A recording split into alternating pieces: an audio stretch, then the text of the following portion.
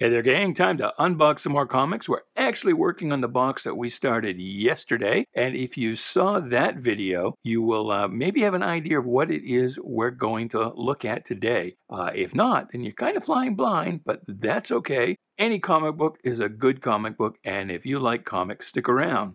We're going to have some fun.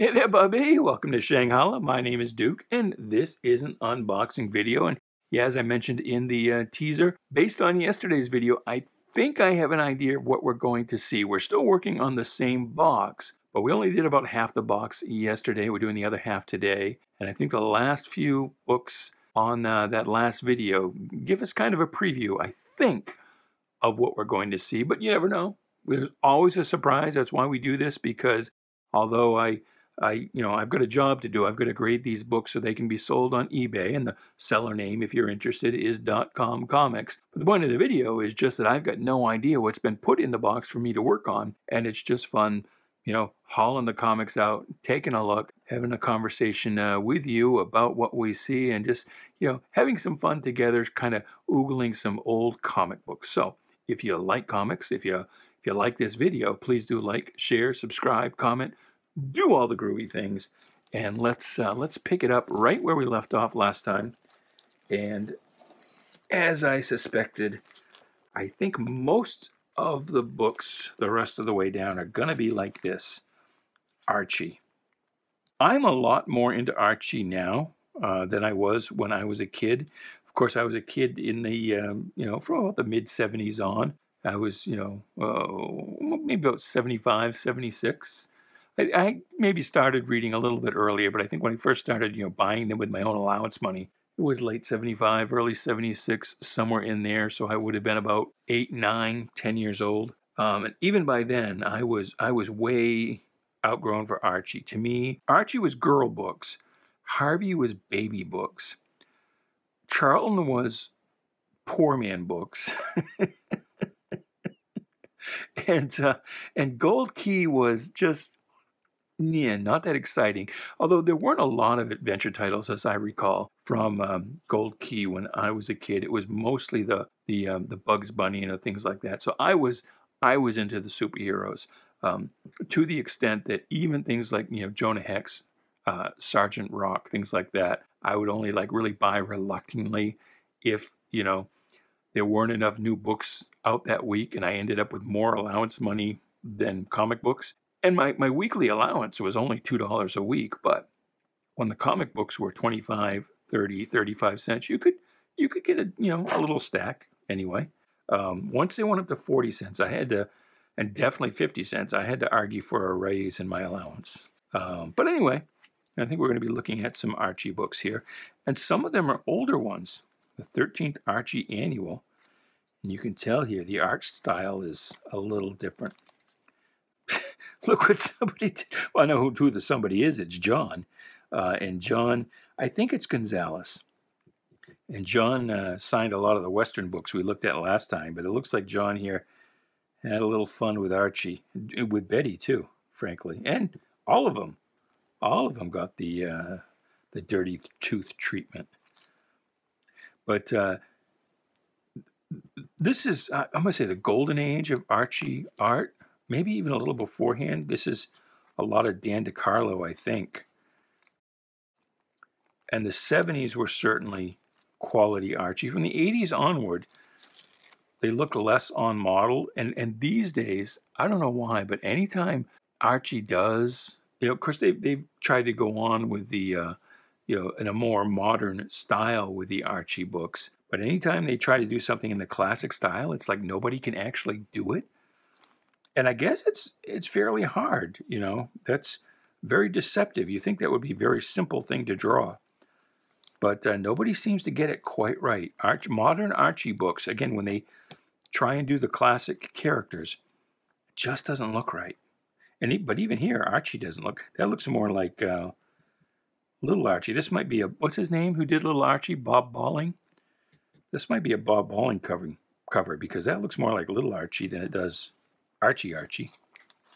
I'm hoping we find uh, some of the double entendre covers in here. That would be cool. Like the uh, well, it wouldn't be in here because the owner the owner collects Archie, uh, and uh, or he, he likes Betty and Veronica stuff, but he would have kept that cover, either kept it for himself or uh, sent it off to CGC. And of course, I'm talking about the one where Archie said that uh, to get a date with Betty, he had to beat off three guys.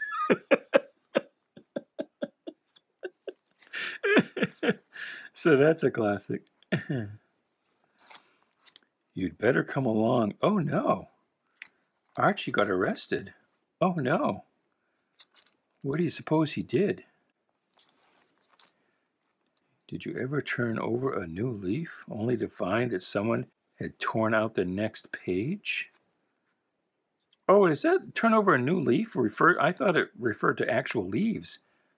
Does that actually refer to leaves in a notebook, or is Archie just? I, I don't know. I'm confused. Look at this. They're sucking face, or they certainly were at any rate. Archie's missing all the fun. Yeah. yeah. The cage is all the way up to empty. Yeah, I've I've had that experience a lot of times. Da, da, da. 1959. Crazy.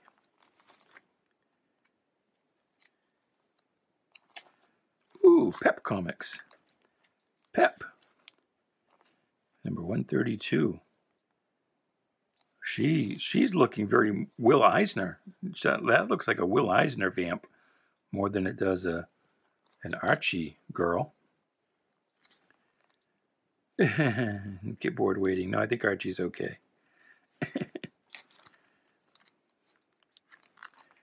Archie's pals and gals. Number 17, and that's an early one. let's see what else we got here. Looks like we're going to have more Archie. And I, frankly, I don't know a lot about Archie books. Um, like I said, I didn't, I didn't collect them at all when I was a kid, and of course these predate when I would have collected them anyway. But um, the, I, I have purchased Archies lately just because I like the, you know, the art in them. I think is just very, very classic. I mean, the stories are, you know, yeah, you read one, you read them all, pretty much. Every now and again, you'll get one that's clever, but um, I just I just appreciate the art style now. So whenever I whenever I get you know a bunch of books that I buy at an auction or something, and it's got some Archies in it, I don't try and trade off or give away those Archies. I I keep them. I do. So there you go. I, I, I sound like I'm making some grand confession, like I keep my Archies. I'm sorry, like I'm apologizing for something. yeah. Ooh, Look at this one. They're getting a little mod, aren't they? Friggin' John. Archie's Christmas Stocking, 1959. But anyway, I uh, I can't add a lot to the conversation here. Probably, if you are an Archie aficionado, you probably know all kinds of little tidbits about these books that I'm completely just passing over. So if you know anything about Archie and you want to share, by all means, uh, you know, as I've, I've said before, this you know this channel isn't just about me showing off how much I know about comics. It's a conversation, and uh, I invite you to leave your thoughts in the comments below, and especially if you can add something, tell us something we don't know about uh, these books. And in my case, anyway, you would be telling me almost anything.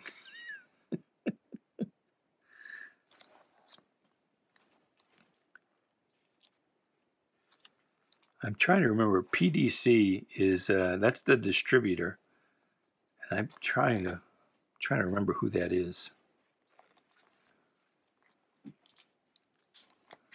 Boom, boom, boom. Hey, Archie's got a boombox. That's crazy. It's a reel-to-reel boombox. Man, I can't remember the last time I actually saw a boombox. I remember as a teenager in the 80s, you had to have a boombox. You were not you were not a real live American boy if you did not own a boombox with a cassette player. do they even make cassettes anymore? Uh, it's like, you know, do they still make eight tracks? Yeah, this one's got a, some kind of stamp on it. Freaking everybody's paired off except poor Juggy. Yeah, it's too bad. Archie's a good loser. Yeah, well, that's, you know, take it where you can get it. Yeah, arrested again. Man, they were little hellions, weren't they? 50 miles an hour, that's ridiculous. We haven't even been out an hour. So now we have, what's next? Laugh Comics. Laugh Comics. Freaking John. And again, he can't decide if he's John or Johnny. He's Johnny here. This is Johnny KOB. I don't know what that's all about.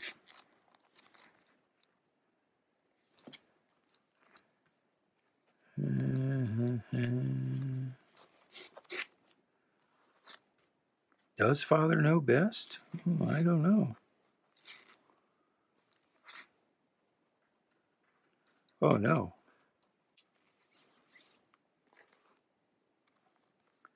Oh, that's the geometry Betty knows. The love triangle. Watch your hat and coat and girlfriend. Uh-oh.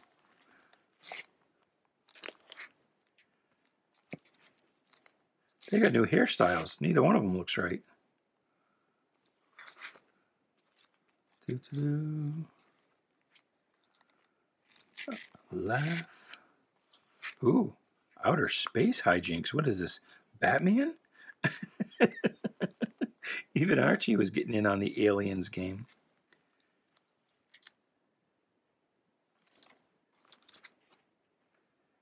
Boom, boom, boom. I love how they walked in. Uh, that's very, um, who's the Keep On Trucking guy there? Uh, Zap Comics. What is his name?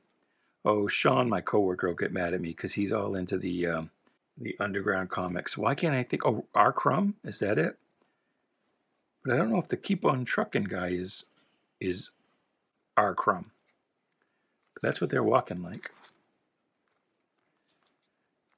Did Archie get there yet? Not quite, Daddy. Oh, see now there's a there's a nice double entendre cover for you. That was very risque. But that one wasn't accidental. They meant to that one to be risque. My goodness. Look at she's even got the she's even flipping up her skirt up above her knees. You can see the slip here. She wants Archie to get there. Holy wow. Little hussy.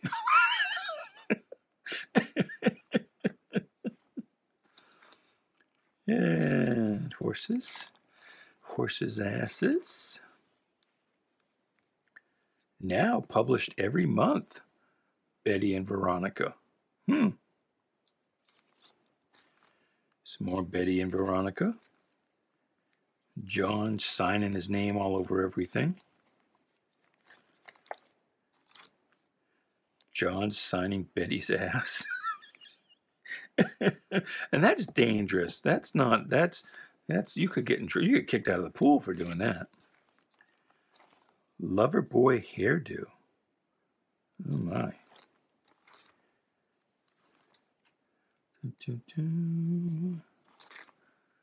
Mrs. Archie Andrews. Oh my goodness.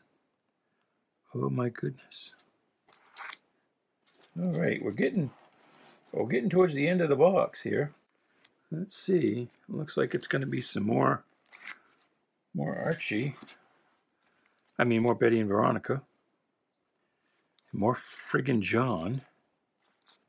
And again, the, the dates that you're seeing here are written on the bags. You can see that. But John is signing his name right on the book. Boom, boom, boom. Ooh, I can't get this one separate. The dinosaur? Hi, Ron. What's new? Giggle. Well, What's that? What is that song? Oh, you won't remember it if you're not old enough. Open the door, get on the floor. Everybody walk the dinosaur. Open the door, get on the floor. Everybody walk the dinosaur. Wow, that was a flashback. I pulled that right out of my butt. Oh, hey, we just saw that one. And she's still a hussy. Boom, boom. Poor Juggy's red in the face. Uh, there's Too Tall Jones. Veronica. Huh, huh. They're looking at her ass. That's exactly what they're doing. You can't do that anymore. You can't get away with that anymore. That's cis. They're being a bunch of cis males, is what they're doing. Yeah.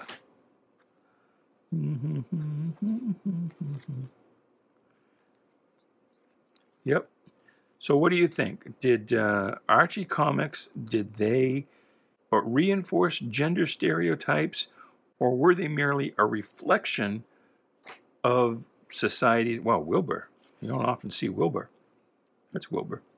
Um, you know, did the Archie comics merely reflect, um, you know, gender stereotypes, uh, the the ideal of the period, or or did they reinforce it? You know, uh, did and yeah, I had a, uh, and this, you know, you talk about you know modern liberalism in college back in the early '90s. I had a friend who was a, uh, she was taking some some class, some psychology class, media, no media studies it was, and the professor assigned them to write a paper showing how advertising pushes gender stereotypes and I had a I had a brother word processor. This is even before you know home computers were a thing. This is you know this is before Windows 95. Uh, and um, so I had a brother word processor. So she wanted to come over to my apartment to use that to write her paper. And she got a little mad at me because I, I was telling her, you know, advertisers, they can't afford to set, you know, societal trends. That they're, they're not in that business. They're not going to risk that money. They're only going to play to existing norms. And so, you know, if if there's an ad where a woman really wants a diamond ring and blah blah blah, that's not that's not them pushing a gender normative stereotype. It's just them reinforcing what naturally exists in society. Um, so she didn't she didn't really like that because the professor didn't like it. It wasn't wasn't the, the it wasn't the paper the professor wanted. so anyway. But what do you think? Jughead's fantasy. Wow. it's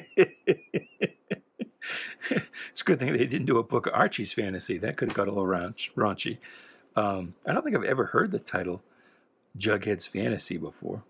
But anyway, what do you think? Do you think the Archie books uh, reflected um, societal norms, or did it, you know, push uh, and enforce it? You know, did people believe in the diff- different uh, cisgenders, so to speak, because they, they read it in an Archie comic? Or did the Archie comic just reflect what already existed? I don't know. I say I'm trying to have a deep philosophical discussion, and I'm I'm not doing a good job. That's not very good perspective there. Archie looks, I mean, Juggy looks a little too tall. Little a little too big. He's, well, I guess he's, I know he's supposed to be in the foreground, but. And is this it? No, we got a few more. A few more. But this is the last stack here in this uh, this box for this video and for this box. There you go. I was trying to think of the guy who, um, you know, we recently sold one of those issues, the Immortal Hulk issue that had the uh, the backwards and it said jewelry instead of jewelry. Um, I was going to make a joke, but then I couldn't remember the artist's name, I was like, well, I lost it.